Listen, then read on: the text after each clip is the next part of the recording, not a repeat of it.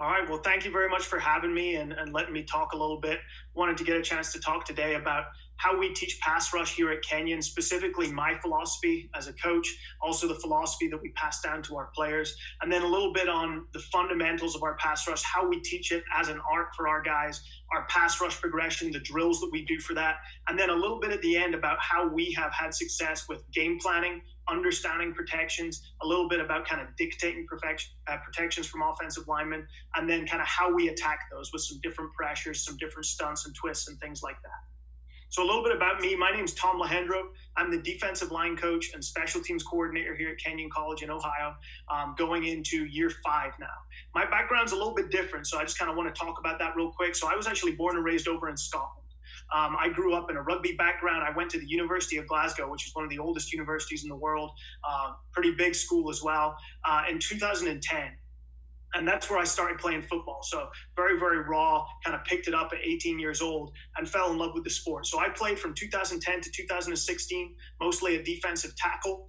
Um, I also played for an organization called the East Kilbride Pirates, which is an adult league which plays in the summer, uh, kind of amateur league, um, one of the best again in, in Great Britain and then I was lucky enough in 2015 to actually be selected as part of an all star team that represented all British universities uh, to play for Great Britain University Student Team. And we got a chance to tour. We actually flew over to Finland and got to play against them in an international fixture. And that was something that, that I kind of keep with me. That's a really, really cool memory of my time playing football.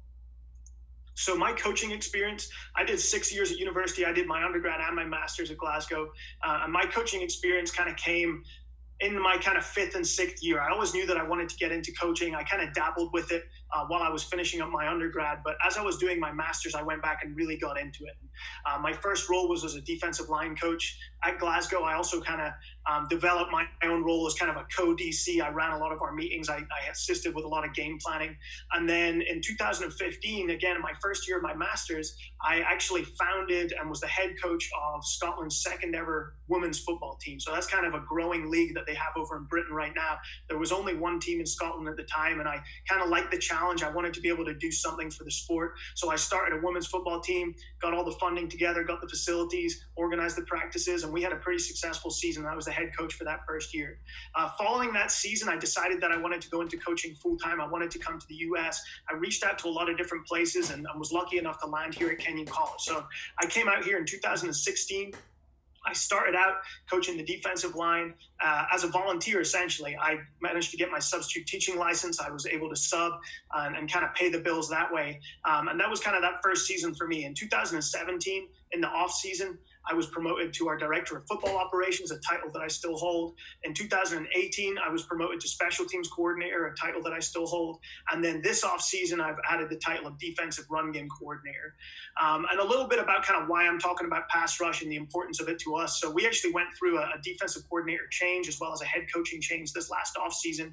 And part of that change and part of our kind of change in philosophy was once we kind of had our base defensive game plan in, and particularly the run game stuff that I'm obviously quite heavily involved in, basically the rest of my week was spent understanding protections, breaking down protections, really understanding how a team protects and what they look for and how we can kind of exploit that. So the end result of that was we went from being a team in 2018 that ranked ninth in the conference with about two sacks a game to this year we added a sack per game and ended up ranking third in the conference. So pretty, pretty successful. And at the bottom there, you see my email. If anyone has any questions about anything I bring up today, please feel free to reach out to me. I'm an open book. So this is the first slide that I start our first meeting of the year with. So in fall camp, when we get in, we talk a little bit about our philosophy, we talk a little bit about our unit and, and our kind of goals, and then I throw in right here importance of pass rush. This is a, a statistical study that I kind of ripped off that was done in the NCAA for I think it was Division One for 2017, looking at every single game. And basically, what it says is if you get a sack on a drive, you are 70% more likely to stop that drive right now. The offense isn't even, isn't even going to get another set of downs. You're 70, 70% more likely to stop that drive right now than where you don't get a sack. So this just kind of reinforces and drives home to our guys the importance of that pass rush and how every single play we can be hugely, hugely important to the success of our football team. Hmm. Um, so a little bit about my coaching philosophy as I teach pass rush. So we're going to spend time developing moves with repetition in multiple drill settings. What I mean by that is we don't teach every single move under the sun. There's a lot of different pass rush moves out there. We're basically going to take a couple and we're going to get really, really good at them. And it's my job as a coach to be really creative and create drills where these guys are able to go in and repeat those techniques, but also kind of keep it fresh for them. But they're in an environment where they're going through those movements and they're doing everything they need to do to gain that muscle memory and be really successful. For us, at our level, our guys can be really successful if they get good at basically one move. All right, with the caveat being that they got to really understand the counters off of that as well. So our guys are pretty cerebral here at Kenyon um, if you kind of show them what they're doing and show them what they're looking for as far as keying on an offensive lineman, they're going to really start understanding that and developing that move and the counters off. That's something that sometimes is a little bit innate. So sometimes we'll recruit a guy and he'll come in and he'll just be a natural pass rusher and he'll just get it. But we also believe it's something that can be coached with enough repetition, enough time talking and showing film and really understanding what we're trying to do. So our again, our players are pretty cerebral. So we have pretty intelligent players, and we spend a lot of time talking to them about what they're going to see and what type of blocks they're going to see and how they're going to defeat that. So if I have an intelligent player and I'm able to adequately set him up to understand what type of blocking scheme he's going to get, if a team's always going to slide to the three technique, that's something that's really, really important for our guys to know because they're going to understand where that down block or that that block is coming from. Um, so our guys are going to anticipate that. They're going to watch film. They're going to understand the people they're lining up against. All right. I'm not a huge believer in one on ones. So I believe they serve a purpose. We do them once or twice a week. Uh, I really like them as a way for our guys to take a move that we're working on in drills. I always try and do some kind of pass rush indie right before a one on one period. And then we go over and we apply that in one on ones. And for me, I give my guys, I tell them every time we do this, I don't care if you lose every single rep. I want to see you working a move and I want to see you getting that discomfort and that kind of roboticness out of it so that you're able to build that move into your repertoire and you're able to be successful once we get to the weekend. So one on ones for us are really kind of a testing ground to try out new stuff and really get good at what we do. For me, I find five on fours is a much more applicable drill. So a whole offensive line against a whole defensive line, even six on four if you want to throw a running back in there and show us some full slide protection and stuff like that. But for me, and, and our defense, like we really understand that pass rushing is a unit effort, right? It's four guys against five guys. It's four guys against six or seven guys. You're never going to be one on one you're the only guy who has to make a play on this play, right? We need one person to win, and we need everybody to have a structured rush and create pressure on that QB, make each other right, essentially. So we spend a lot more time in five on fours really understanding how to rush as a unit. And you're going to see in a little bit, we do a lot of stunting um, and twisting when we get into pass situations. So that's another great way for us to really understand how to fit, fit off each other and really trust each other in those stunts and those twists.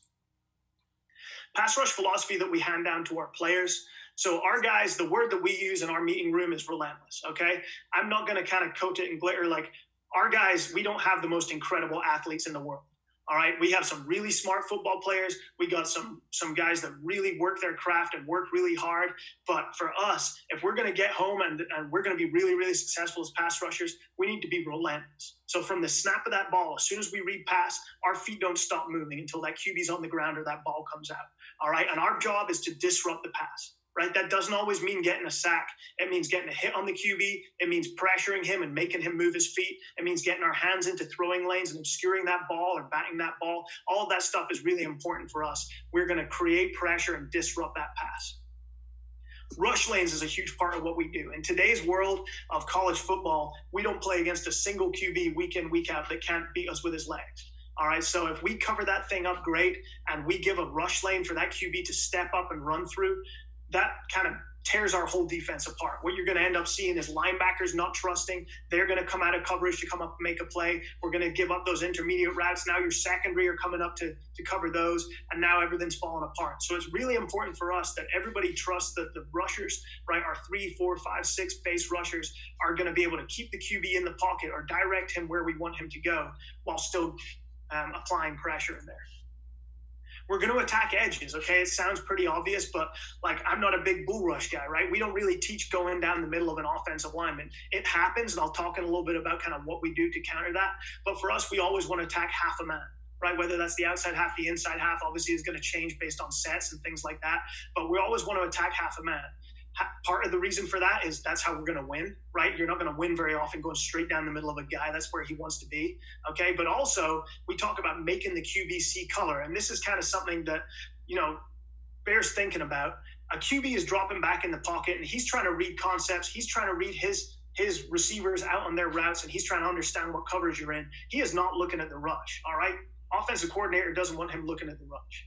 So what he's going to see as far as rush is he's just going to feel it with his peripheral vision. So for us, a lot of the time we can again disrupt the pass, generate pressure just by making the QB see color. So what we mean by that is getting our jersey into a gap.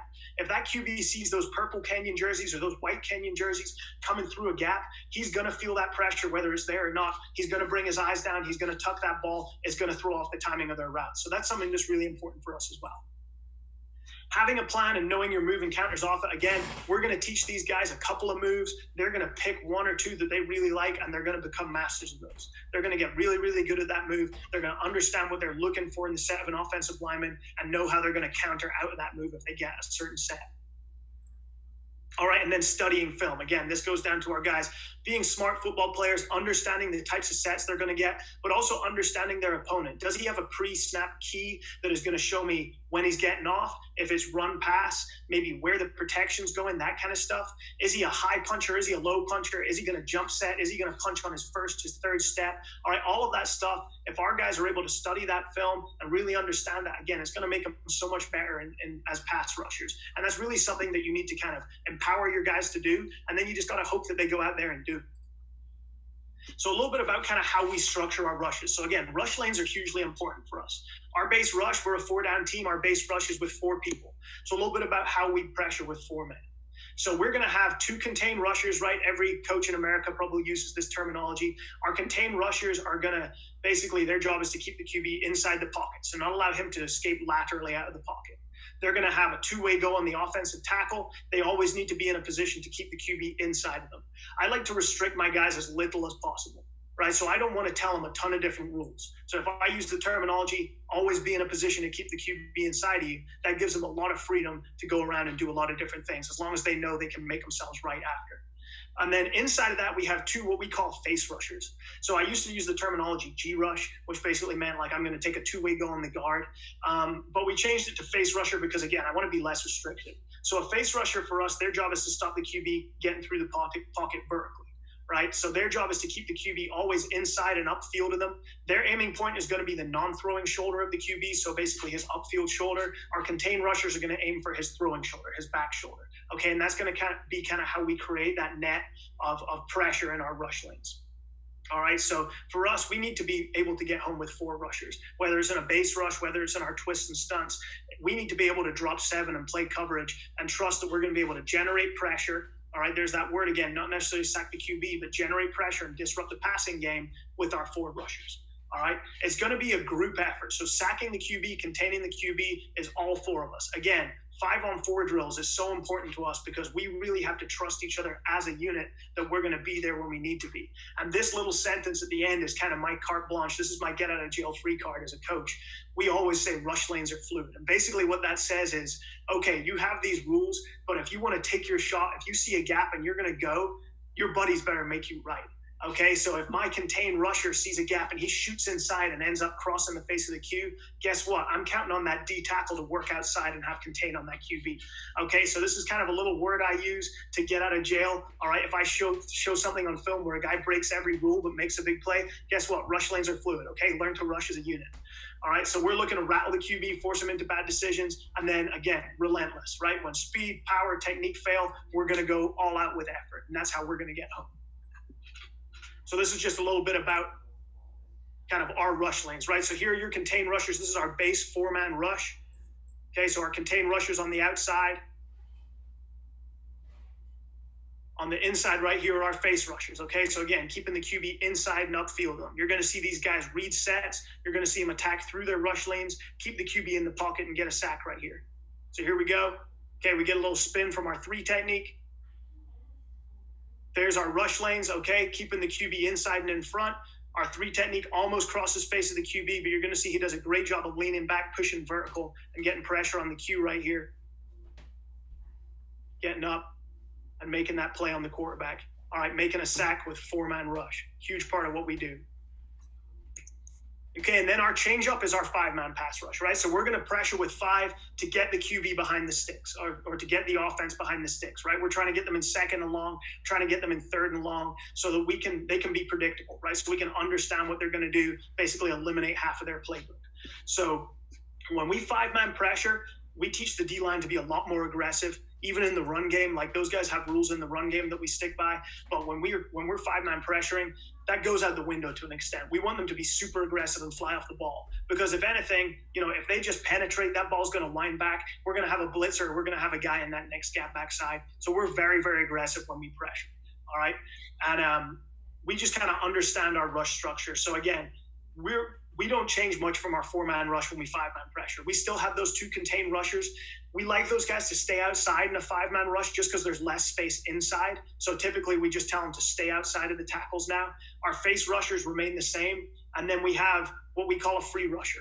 Okay, so the middle of that five man pressure is our free rusher. So if you have contains outside, then your face rush, in the middle is your free rusher. He has no rules. All right, so he's really kind of our our wild card. His job is to get the QB off the point and flush him to the rest of those four guys.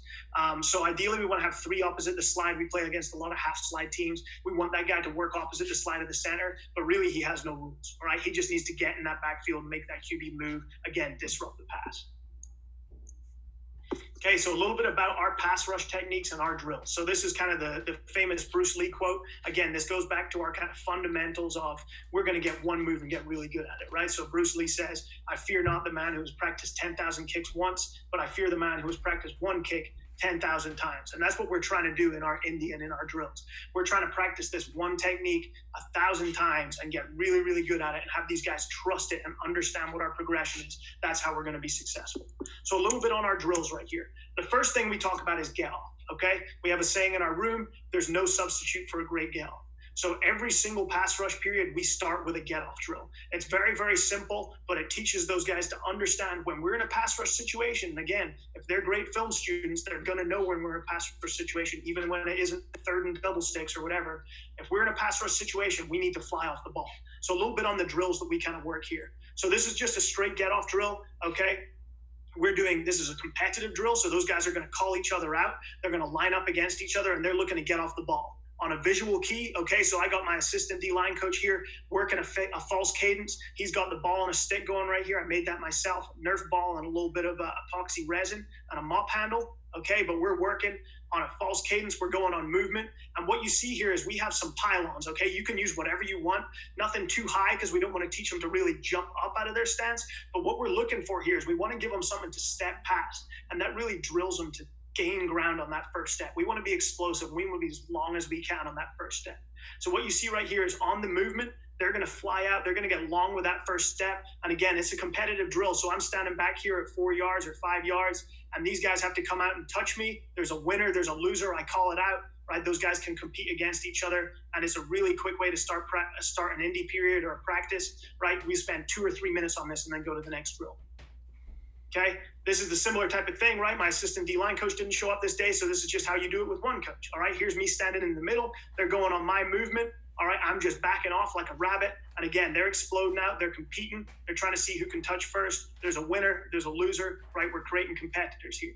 And then this last drill I really like. So this again, a visual key. You can see we're using an offensive line board right here. I really like it. Again, it's nice and low, so it's not forcing them to really pick that foot up, but they are getting along with that first step and we're rolling a ball out. Again a visual key. The cool thing i like about this drill is we're going to teach them to dip and touch that ball and turn the corner at the top. And essentially we're simulating a rush path right here. So they got a visual key they got a long first step and they're getting a lean and a little bit of body control right here as well. So i'm a big fan of that drill. Next thing we teach so the, the very first kind of day one pass rush technique that we teach is what we call a wipe. So for us a wipe is two hands straight up and down, so forearms vertical, and we're wiping. So we're wiping through the punch of that offensive lineman, basically side to side, trying to keep our pads clean. This is a day one technique for us because I feel like if you're going up against a poorly drilled offensive line, a lot of the time those guys are just throwing their hands into the middle of your chest, right? There's not a lot of nuance to it. So if you're going against not a great def- uh, offensive line or not a very good offensive lineman, all right, this is going to work more often than not. So a little bit on kind of the drill work that we use for this. So this first drill, again, we're putting them on a line, we're having them get off the ball, and we're working a hoop. Okay, nice and simple. Again, this this drill doesn't simulate a game situation. Okay, I'm never going to ask a guy to pull off nine different wipe moves as he goes around an offensive lineman. But what we are seeing is he's working that technique where he's getting that wipe, forearm straight up and down. Okay, not the best in the world right here. Okay, he's a little patty cake with his hands. But what we're looking to see is his hips pointed inside of the circle, so we know he's throwing that hip around okay? And then we get that lean that dip and rip at the end okay? Really important for us. This rep's a little less clean. I threw this one in here so you can kind of understand you know what we're not looking for. So you can see right here his hips are never pointed into the circle. Shows me that he's not throwing that hip okay? And it's going to mean he's going to run a much wider hoop on that guy when he pulls this move in practice or in a game Okay, and then a pretty clean rep here at the end. Okay, he's cheating. This is my freshman right here. Cheating, not lining up on the line of scrimmage. Okay, but you can see really violent hands. Look at the hip coming around. Really good finish right there. So that's a pretty good drill for us. Okay, again, we try and do a lot of varied drills to work the same techniques, right? So this is a drill I do. We throw up four pop-ups. They simulate our rush lanes. What they allow us to do is get off of the ball. Obviously, we're going to be attacking at different heights. Okay, so our, our defensive ends are typically on three steps. You're going to see our D tackles on one step. Okay, turning that corner and then teaching how we finish on the QB, right? So backhand is high, going over his shoulder, tomahawking that ball out. Near hand is low around the hip, finishing the tackle, finishing the sack on the QB. Okay, it's a lot shorter for our interior linemen. They're going to take one step and pull this move. You're to see the same thing for my three technique right here.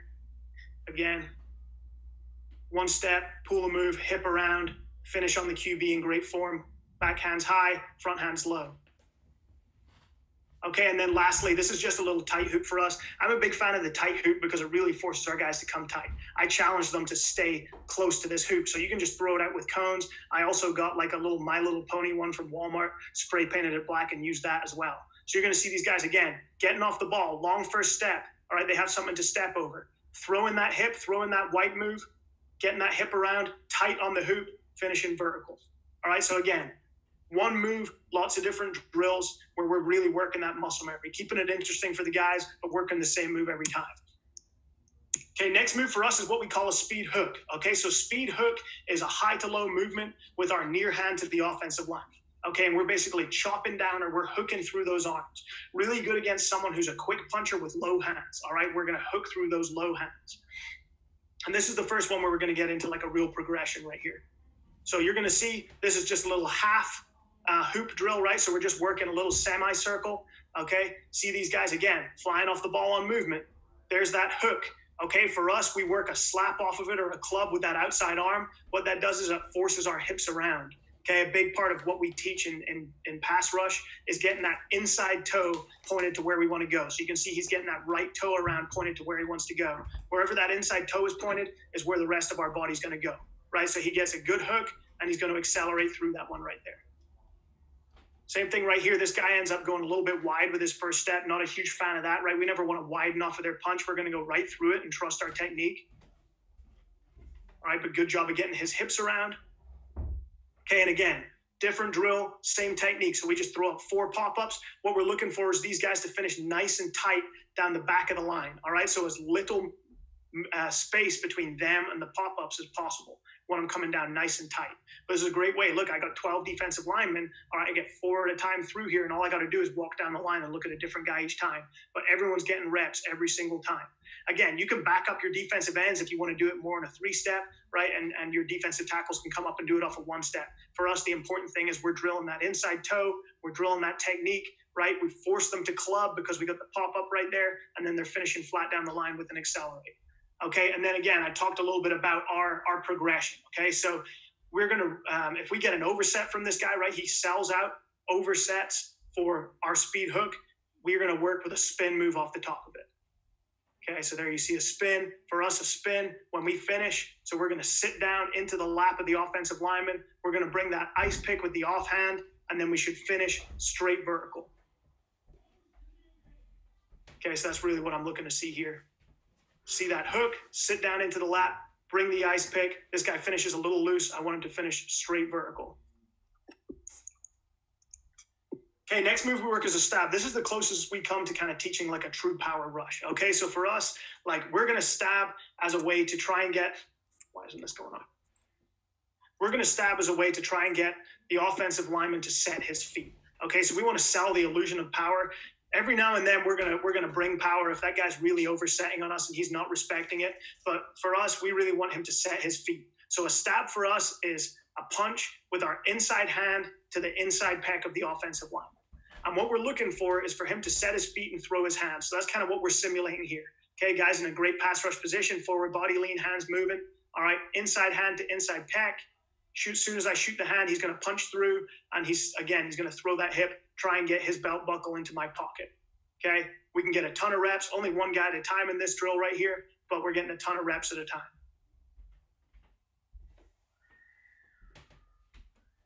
Okay, this is just a way to kind of incorporate it into your get off drill. This is the Vikings right here. Our video coordinator hates me, so I don't have great film of some of these progressions, so I had to steal some from the pros. So here we have again going on a visual key, getting off the ball, and it's the same type of idea. We're trying to tag someone, but also we're teaching that inside hand, inside pec, stab move right there.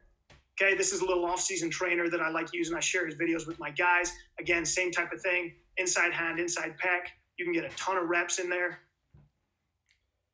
Okay, the reason I threw this in here again, our video guy hates me. All right, but you're going to see the progression. If we have an overset, we work what we call a shot put. So we're going to throw that guy upfield and rip inside. Okay, I think you're going to see one example from it from us right at the end here. Okay, here's Jared Allen throwing that stab flip.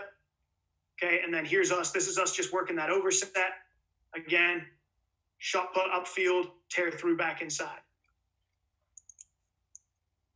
okay, this is maybe a little bit unique to us. We actually spend a, lot of time drilling the top of the rush. Okay, so I'm sure everyone does some kind of like teaching your guys to rip and rip through, but we actually kind of talk about specifically rip and lean and all the things that we can kind of do off of that if our rip lean isn't getting us there. So I'll show you a little bit on that progression here. So again, this is something that we can do. We can get everyone going through at the same time. I'll just work down the line and I'm just looking at one of them at a time. So what we're doing is we have one guy as an offensive lineman. We're going to fit up into him. And then on, on go or on set hut or whatever, we're going to work a rip and lean. So if you look at the three on the right here, they're kind of the more experienced guys. Ripping and leaning, we're trying to press through that guy and not gain ground vertically. Again, rushing through a half a man, throwing that outside arm, bringing our hips around.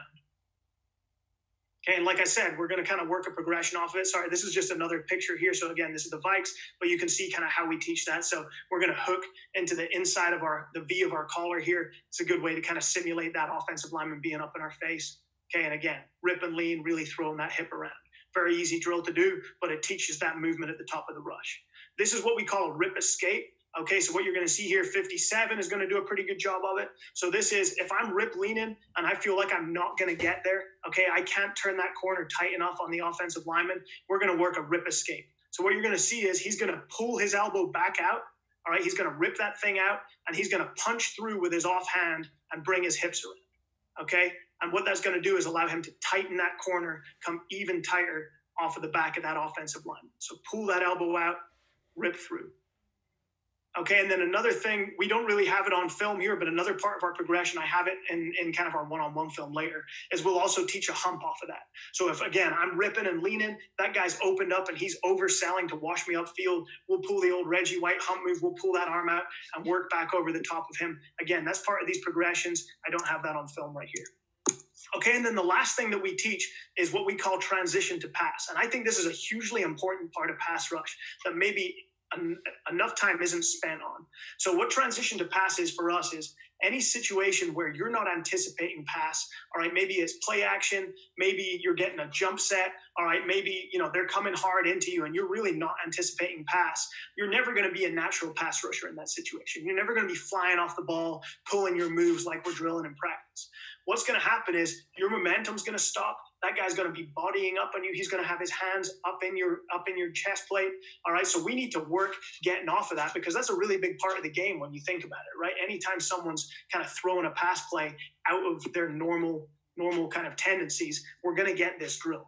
So for us, what we teach in transition to pass is we're going to basically pull through our hips through into a gap. And the way we do that is we're going to pull what we say opposite knee to opposite elbow. So you're going to see 59 here is like the fourth one down on the line.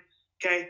We're in a position we've already lost. That guy stopped our momentum. He's got his hands in the middle. We're going to pull my hips into the gap, and you're going to see him pull his left elbow to his right knee.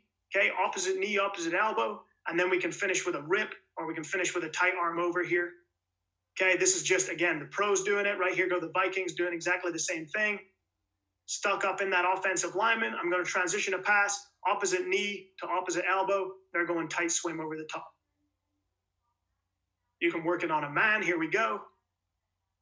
Off a bull rush. Feel that, feel that guy leaning against me. Opposite knee to opposite elbow. Nice and tight. Finish over the top. And then the last one we got right here is in a drill situation. Okay, one on ones. You're going to see the same thing again. That guy's going to jump set, get his hands in me. I'm going to have to transition to pass. So this is something we spend a lot of time on with our guys. A couple times a week, we're going to transition to pass. Okay, so our principles, when Coach Rosenberry, our new head coach, came to Kenyon last spring, he talked to us about developing a position three. So, what he means by that is basically three buzzwords that kind of encapsulate what it means to be a successful defensive lineman at Kenyon or a linebacker or a QB or whatever it is. So, I'm a simple guy. We came up with three simple words. Our three words are start, diagnose, finish. Okay, they apply to our run game, they apply, apply to our pass game. All right, so start is pretty obvious. It's having a great takeoff. All right, it's aligning right. It is understanding the situation and putting yourself in a position to be successful in that situation, knowing if it's past, maybe getting more width or whatever it is. All right, but then flying off the ball, closing the cushion to the offensive lineman, forward lean, head up, active hands. Okay, the way we do that is by having a great visual key. So I already kind of spoke about we're a big ball key team, right? So we're all going to key the ball. You, you'll have heard of some people who key the offensive lineman in front of them is kind of like a general term. Some people get even more specific. They key the near knee. A lot of the time that twitches before the rest of the body. Depends what you want to teach. Depends how kind of minute you want to be with that. We're just a ball key team. All right. And then we're going to make the offensive line respect speed. I'm going to show you in a little bit a bunch of our pass rushes. Every single one of them is set up off of speed rush. Okay. All of our moves are speed rush moves where if they overset for speed, we're going to work our counter off of it diagnose. This goes back to film study. This goes back to understanding sets. All right. So we're going to have our pre snap plan. We're going to fly off the ball. I'm working a speed hook. Awesome. That's my pre snap plan. Okay. But guess what? If I get an overset, we already talked about it. What am I going to do? I'm probably going to work a spin move inside. So we need to have a post snap read. Okay. Diagnose that, that offensive lineman's pass set. Okay. And, and the way we kind of break down pass sets is into four different kind of ca- categories. So we talk about a jump set, overset, underset, and an open gate. And I got some film on all of those in a second here. Okay, and then the last thing is finish. So applying your correct technique as it's being coached to you, accelerating from the block point to the QB, getting that inside toe pointed where I want to go, where my aim point is on the QB, right? Throwing shoulder if I'm a contain rusher, non throwing shoulder if I'm a face rusher. All right, and then turn and burn is a phrase that we use a ton. I think I say it probably 50 times per practice, going back over the last four years, called a couple thousand times. I've said it since I got to Ohio. Turn and burn for us is basically is all about effort. But really, it's something that applies to when that ball is thrown. All right, the QB gets that ball out. We're going to turn and run. We're not going to look and see who catches it or where the intended is or whatever. If it's covered, we're turning and running right now. And every single year, we make game changing plays based off of that philosophy. It's a huge part of what we do. It's hard to do, right? Those guys all, don't always want to run, they don't always see the point of it. Every single practice, every single clip, we're talking about it. We're showing it on film, doing it the right way. I got a clip of it right here. Senior nose tackle. Okay, so again, he heard me talk about it 2,000 times over the last four years. So you're going to see him right here. Smart football player, understanding they're going to slide to the three technique. He gets himself vertical before the guard's able to get down on him gets pressure on the QB. Okay, he doesn't get the sack, but the ball comes out. Guess what? He's a face rusher and he let, he doesn't keep the QB inside and in front. But we can't be perfect. Okay, ball comes out right here. What is he doing? He's turning and burning. See him run. Guess what? Strike is batting the ball up. We end up picking that thing off. Right, 280 pound nose tackle, getting a pick right there, all because of his effort. Turn and burn. Nothing gets you juiced up like that. Okay, so I spoke about kind of our pass sets and how we define them. So we live by the philosophy here at Kenyon that there is no such thing as a perfect pass set. Right? Joe Thomas doesn't play in our conference. Tyron Smith doesn't play in our conference. So there's always going to be a weakness in the pass set, and it's up to us to understand what that set is. So for us, a typical pass set is what we call an underset. What we mean by that is the offensive lineman is giving us his outside half. So with our speed path, we're going to be rushing through the outside half of that offensive lineman. This is the situation that we're drilling for, right? All of our moves are basically working an underset where I'm working through his outside arm, I'm working my technique, and I'm getting, I'm turning that edge, right? So a little bit of film on that. You're going to see some undersets right here. So here is our three technique. Okay, he's just working a straight speed hook. He's going to have a great get off. He's going to speed hook through that outside arm. And then again, here comes that rip lean drill. Turn that corner, get that inside toe pointed to the cue. Okay, here's the nose tackle. He's going just straight speed rip. Okay, he thinks he can beat this guy. He's on his snap hand, so he's just going straight speed. He's going to try and rip and lean. What you're going to see here is, an, is this guy. To start with, he's undersetting, right? We feel like we can take that edge. It's going to turn into an overset or what we call an open gate. So again, this is our progression, right? We're in a rip lean. We see that guy open his hips. We're going to work our hump move over the top. Okay, and we're right there in the lap of the QB. Next guy right here. Here's that wipe move, right? The very first one we drill. This kid's not the most athletic in the world. Doesn't look great, but guess what? He gets three great steps upfield. He pulls that wipe, brings his hip around, points the toe. He's in a position to make a play on the QB, not allow him out of the pocket. That's a really good rep right there.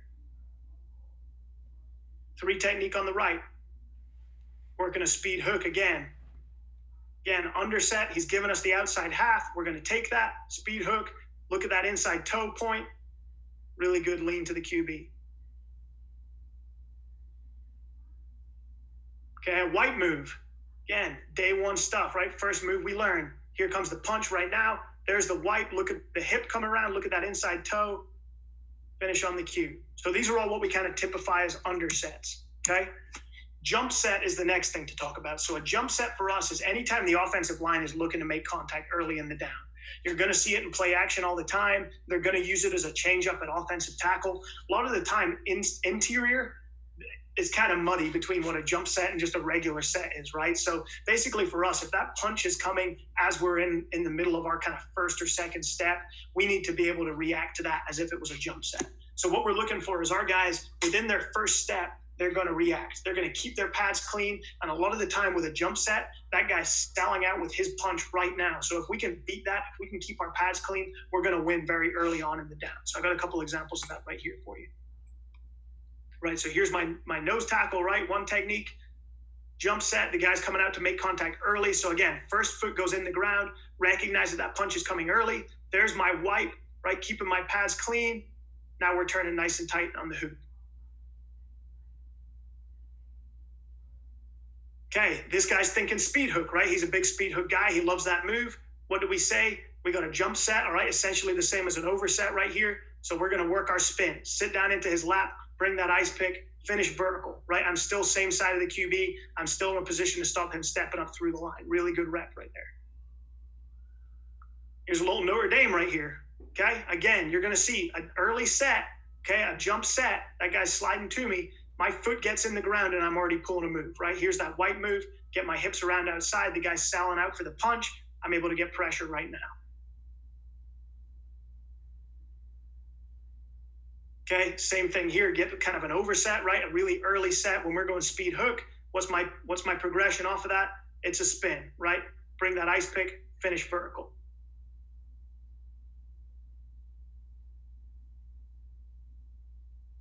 Okay, this guy's going straight speed hook. So again, that punch is coming early, but he does a good job of deflecting the hands, getting his hips outside. You can still stay outside on that thing. Really good job.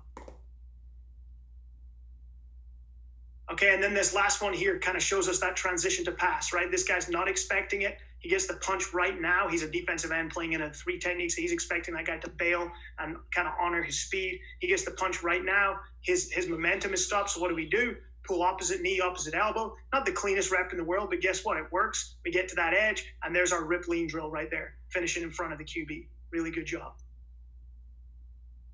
Okay, and then this last one, I got to throw this in here. This is my nose tackle, right? Not the cleanest pass rusher in the world. Not going to lie. If we know they're passing, he's not on the field. But guess what? We get a jump set. Really good job with the wipe move. Keep our pads clean. Okay, he knows he's not going to win with speed on the edge. So what does he do? Hands down the middle. I'm going power rush, getting pressure on the QB, getting him off his point, right? Influencing the pass. Overset, okay, is obviously we're going to make them honor our speed. So eventually, what you're going to see is those guys really bailing out of there to try and cover that speed path. So on overset, all right, they're setting past the midpoint of our rush. We no longer want to rush through the outside half. We're going to react and we're going to win through the inside half of that guy. So here's one from a game. Okay, you're going to see an overset from this guard. He's going to set too wide to honor our speed. We get a good wipe move right here. Come inside, pressure on the QB. Okay, three technique again. Look at this guy bailing out, right? He's past the midline of my rush. So I'm going to work. What's my reactive move off of a speed hook? It's a spin move. Sit down into his lap, bring that ice pick, finish on the cue. Same thing right here, defensive end. Okay, overset. Look at this guy overselling. He's past the midpoint of my rush line. Work the inside move. Okay, and then for us, we talk about again, you got to be in a position to keep the QB in, inside the pocket, right? You're a contained rusher. So what we teach our guys is finish vertical. Okay, so that same rip lean drill that we do to turn an edge can easily be used right here. I'd like to see him ripping and pushing back up field here to stay vertical and be in a position to contain the cue. Okay, I think you're going to see that right here. Again, an overset from the offensive tackle. Work the inside move with the spin. Right, he finishes vertical, same side of the cue. Same idea right here. Okay, not the prettiest thing in the world, but definitely an overset. That guy's way setting out. Work the inside move. Okay, again, this guy's finishing across the face of the QB, not where we want him for his rush lane.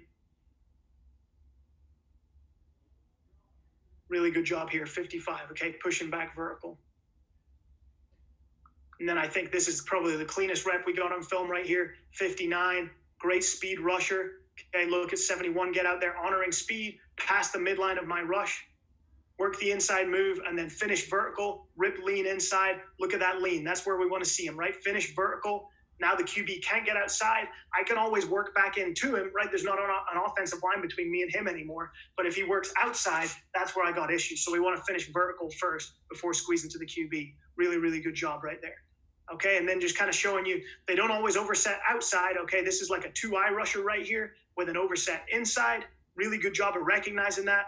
Works back outside, makes a play on the QB, right? That's one from practice for us. And then I got to throw some pro film in here. Okay, so both defensive ends essentially get oversets. Both of them work a great move inside, get pressure on the cue. Okay, and then the last set that we talk about is an open gate. Okay, so this can happen early in the down, it can happen late in the down. You already kind of showed, I talked about it with the hump move. So for us, an open gate is anytime that offensive lineman honors our speed and ends up opening his hips so that his pads are perpendicular to the line of scrimmage. We call that an open gate. So our rule with an open gate as a defensive line is we are going either power or we're going inside. So we actually drill this, and I'm going to show you this a little bit. Okay, so this is a drill that we do for open gate. All right, so we're going to be pass rushing again, exploding off the ball. We're going to see that offensive lineman open his hips. Okay, and what we actually work is we basically work like a reach drill, right? So it's a push pull to crank his his shoulders open, get that edge nice and tight, and rip through. Okay, you're going to see a couple examples of it right here. Same again, right? Physically cranking that gate open and ripping through. All right, and the last one right here, really violent hands, open that gate, rip through. So what you end up seeing is if that guy's opening his gate, and you're push pulling and opening his shoulders and ripping through, what you're going to see is he's going to start fighting that, right? So this is what this drill is right here. Fighting upfield, not letting you open my gate. What are we going to do? Tear through back inside. Okay, so that's a little drill work that we work. Okay, obviously in practice, it's going to be a lot more kind of messy, right? It's going to be a lot more reactive. But if we see an open gate, we're going power or we're going inside. So this is a couple examples of that. So this is, again, we're going speed, wipe. Okay, look at that guy overset right here. That's an open gate. Hump back over the top, finish on the non throwing shoulder of the QB. Really, really good rep right there. Okay, here's our defensive end, selling speed. Offensive lineman opens the gate. Okay, we're trying to just go straight speed rip We do a good job of understanding we're going past the depth of the QB, right? There's that terminology again. We're no longer in a position to keep the QB inside the pocket, but we got an open gate. So where are we going? Back over the top, right? Violent spin. There's the elbow. There's the ice pick. Finish on the back shoulder of the QB. Great rep right there. Okay. This is a good example of power. Okay. You're going to see Notre Dame right here. Selling speed up field. We got an open gate from the right tackle. Where are we going? We're going to power. Right there's that stab move, inside hand, coming off pressure on the QB. Okay, and you're going to see an example of it from us right here 59 inside. Again, sell speed. Okay, he's trying to bring the wipe. That guy's bailing, honoring his his speed. But guess what? We got his gate open. There goes the stab. We're going power. We're going inside. Pressure on the cube. Great rep right there. Okay, and then lastly, right here, this is my my slow defensive end. Okay, but again, he does enough with his get off. Right, he's working an outside hook move but he gets an open gate. He's going power, right? This left tackle is no slouch. He's a pretty good football player, but we managed to get up underneath him, get a bull rush, get pressure on the cube. Okay, and then again, right? This is early on in the down. We're going power, and then there we're working that transition to pass drill. So that's kind of how we break down pass sets. All right, so I promised you guys I would talk a little bit about kind of how we break down protection schemes. Okay, so first and foremost, the terminology that we use. The majority of pass protections that we see in our conference are half slide protections. All right, so what we mean by that, I'm sure everyone probably understands, but to kind of show it to so we're all talking the same same language, right? This team here is going to half slide opposite the running back. So what we're going to see is center guard tackle essentially are your zone side. Okay, there's zoning. We're in our Okie front right here, so there's zoning between the inside backer, defensive end, and the outside backer. Okay, and then to the backside is what we call our man side. Okay, so we're going to be locked on, excuse the hideous drawing, right? We're locked on, tackle on the end, guard on the nose, and then your running back is reading pressure inside to out. Okay, so that's kind of how we break down a pass, uh, a half slide protection. All right, so for us, when we're scheming to attack protections, most of the time we want to attack the backside. We want to attack the man side. This is kind of a rule breaker for us. In this game, our, our um, pass rush plan was kind of predicated around this left tackle. Okay, we felt like we had a pretty good matchup there. So you're going to see us get pressure off of the other side.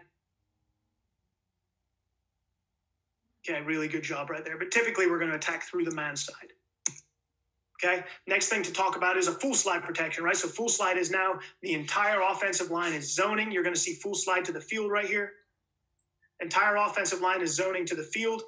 Okay, so, and then they're going to seal that backside with a tight end, a running back, or maybe both. So when we're game planning and we understand a team is going to full slide, we're going to try and attack them to the backside of the slide. And what we're going to try and do is get a two on one there. So if they're sealing the backside with a with a running back or a tight end, we're going to try and scheme it so we can get two guys on that one and get a win there. We haven't had a huge amount of success attacking through the slide against full slide teams. So not the cleanest pressure in the world right here, but you get an understanding of kind of what we do. So we're going to see full slide to the field, everyone's zoning, tight end staying backside.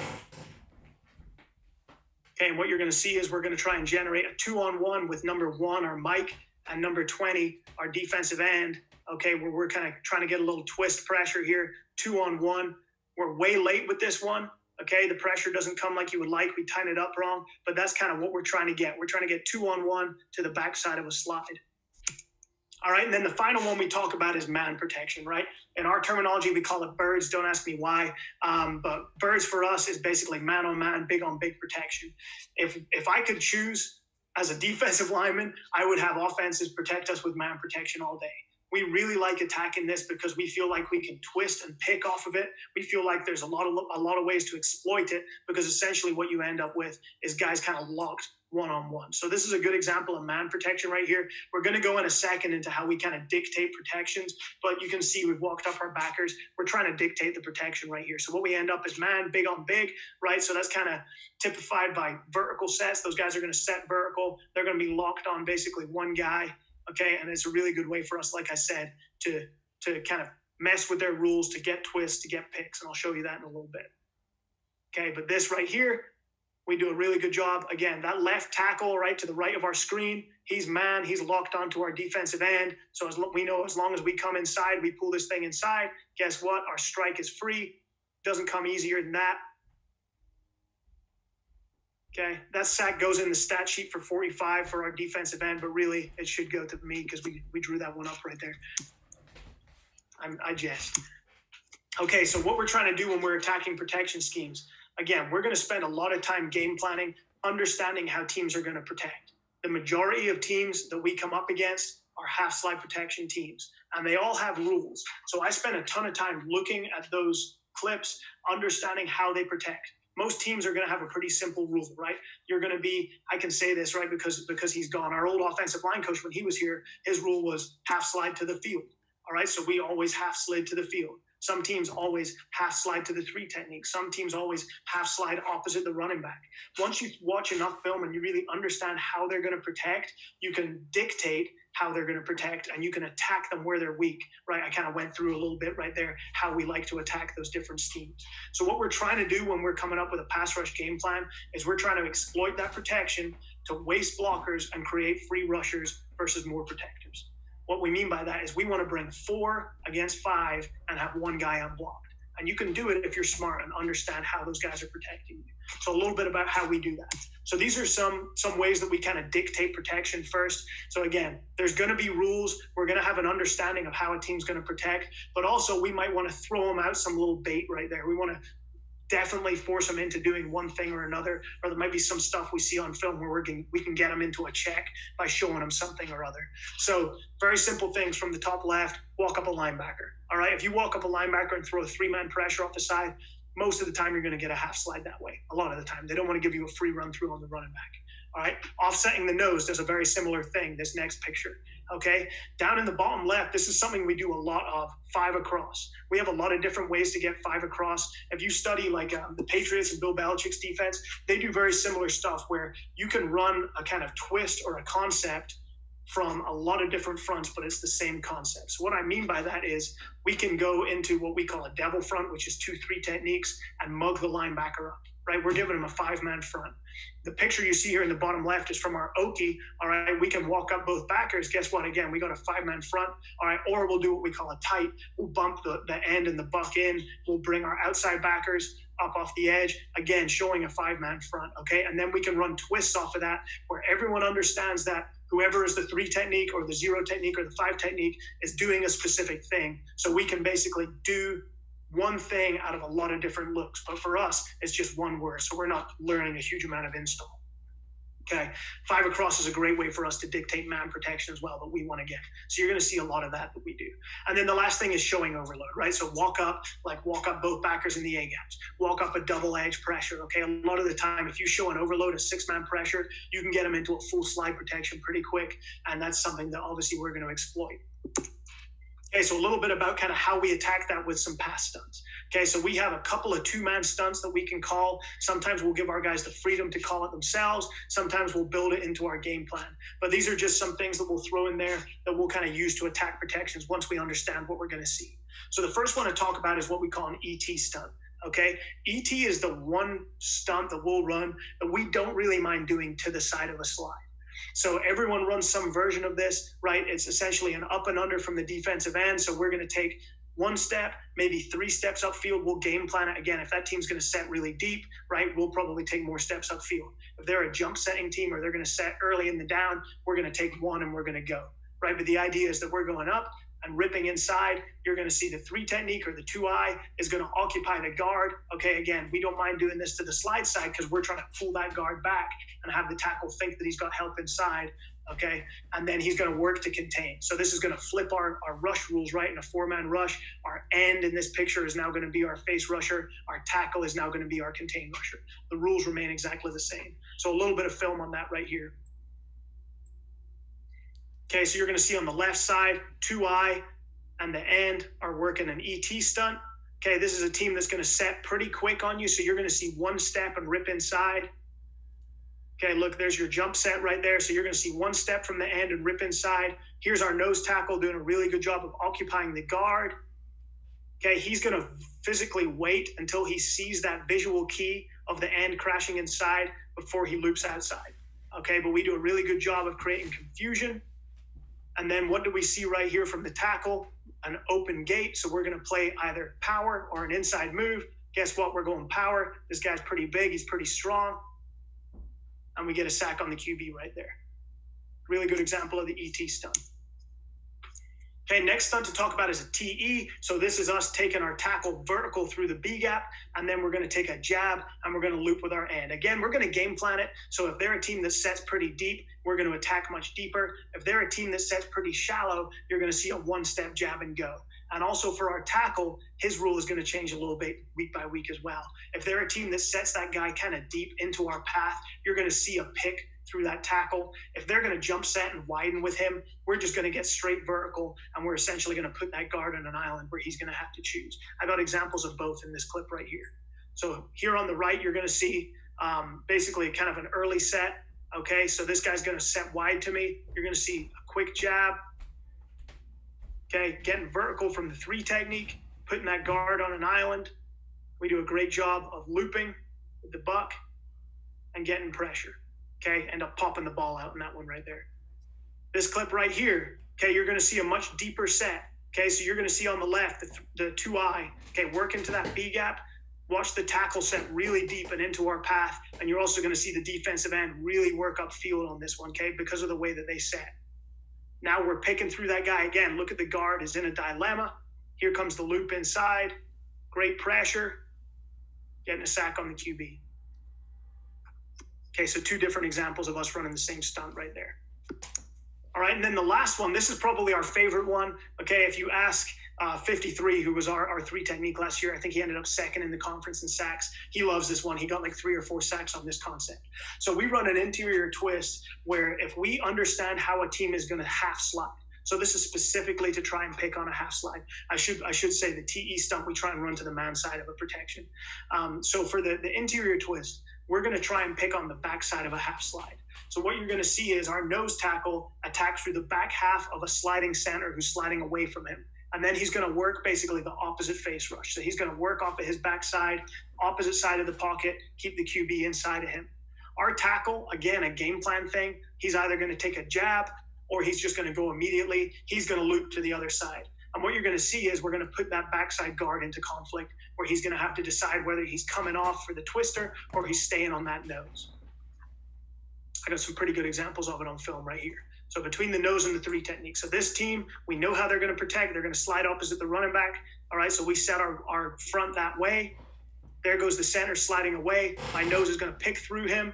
Okay, he gets kind of eaten up by the guard, but guess what? Doesn't matter. We get a free rusher 53 twisting in here closes right. There's that word finish. So he's closing the distance with the QB, gets a great sack. Okay, this is the opposite. Okay, so now you're going to see that backside guard decides he wants to come off. Okay, so same type of concept. All right, they're sliding to the field to our three technique.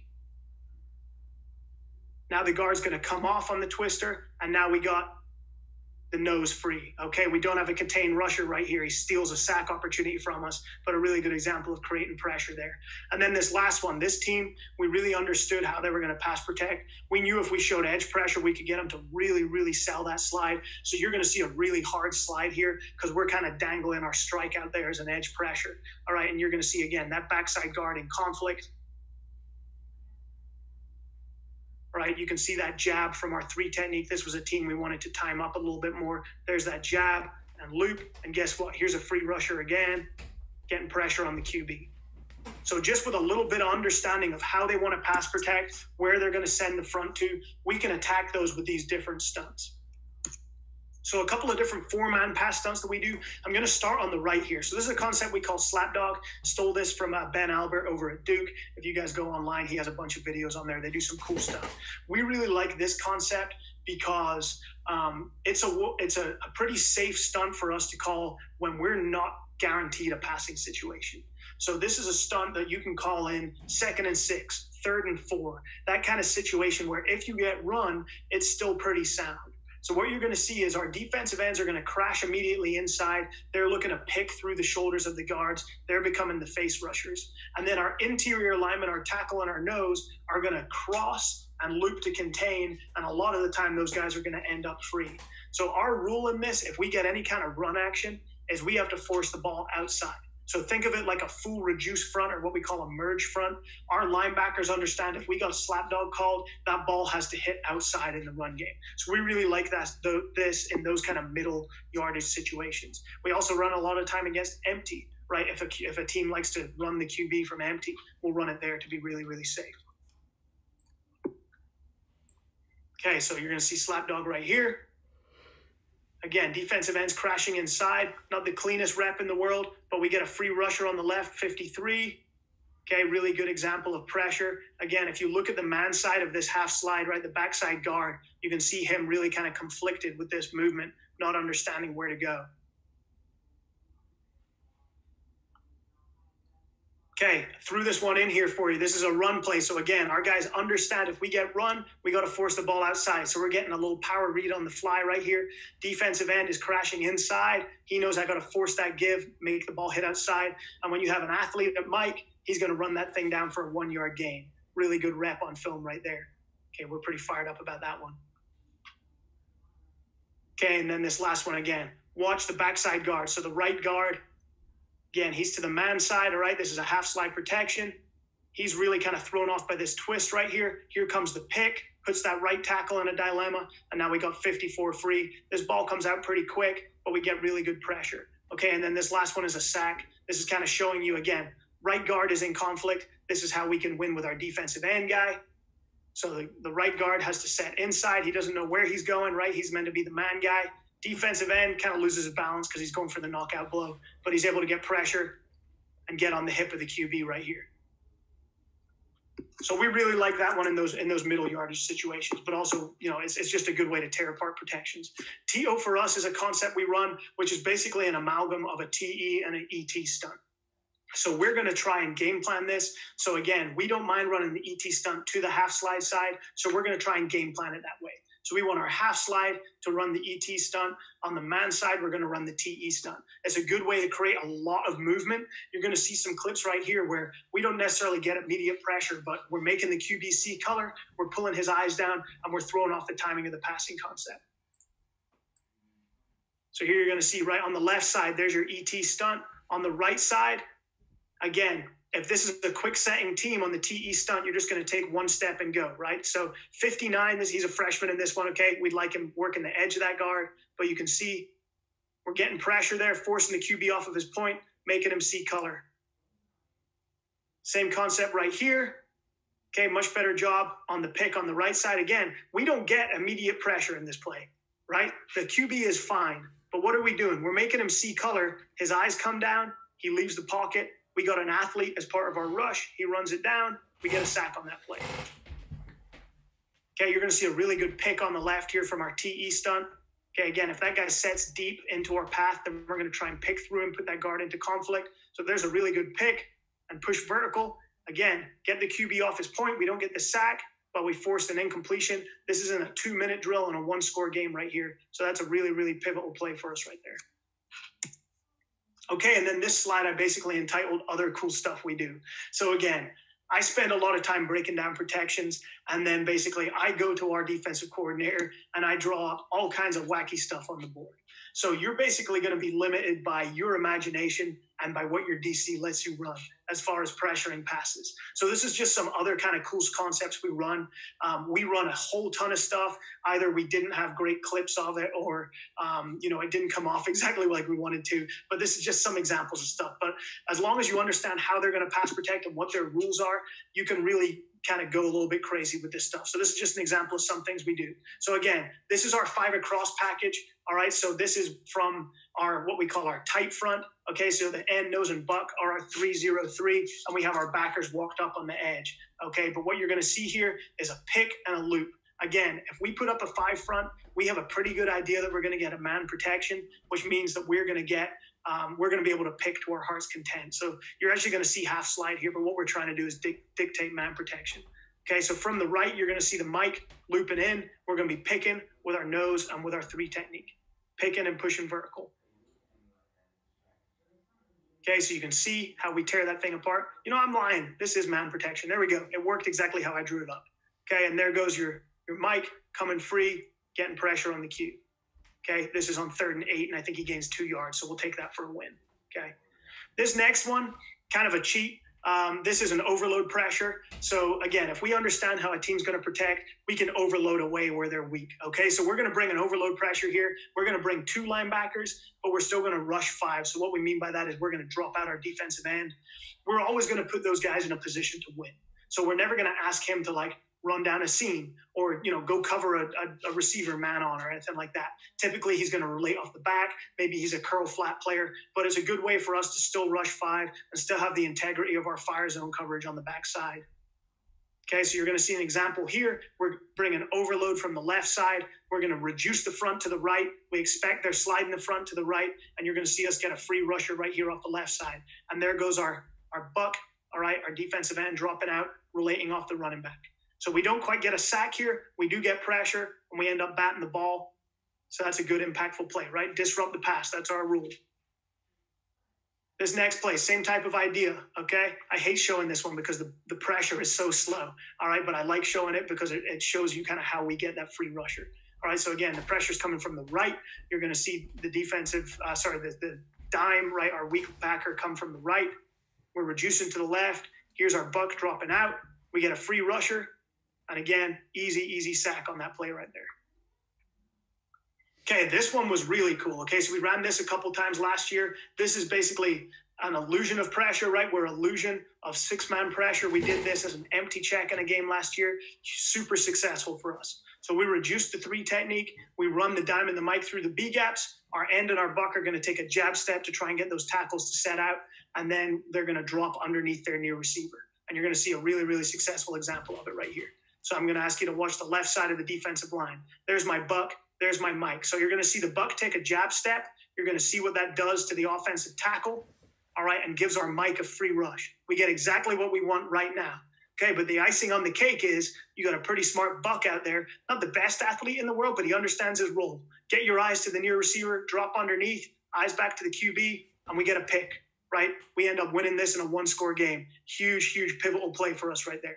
Okay, and then this last one, again, it's a five up protection, uh, sorry, five up um, pressure. Okay, we're showing five across. We're dictating man protection right here, but we're I'm basically just showing here how we can win with picks and twists. It's a good way to get a linebacker, a, a slightly more athletic guy up there into the pressure. Okay, so you're going to see here on the right, again, five man up. Okay, we're dictating the protection. We actually offset the nose in this game to we were trying to get a half slide and then we were trying to tag him back across and basically pull that center back through the protection. So just a different way to kind of mess with him. So you're going to see the center slide right here. And then we're trying to pull him back with the nose. Doesn't quite come off.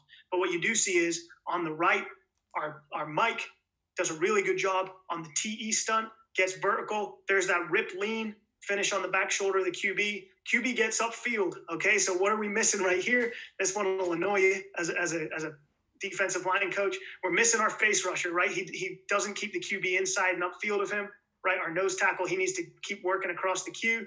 But what we do get is the QB stepping up into a linebacker as good as a sack. All right, I think it goes for gain of a couple on third and long. So it's as good as a sack.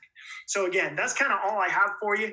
Um, the thing I would stress again is, you know, you're only really limited by your imagination. As soon as you understand how they're going to pass protect, put yourself in the mind of them, jump up on a whiteboard and just start drawing, and you're going to come up with some cool stuff. And then it's just your job to make your defensive coordinator buy it. So thank you very much for taking the time to, to listen. If you have any questions, my email's at the bottom of the screen. My name's Tom Lachendro. I'm really open to anything. If you want to learn more about how we do things, run game, pass game, Kenyon, special teams, British football, any of that kind of stuff, please feel free to hit me up. Thank you.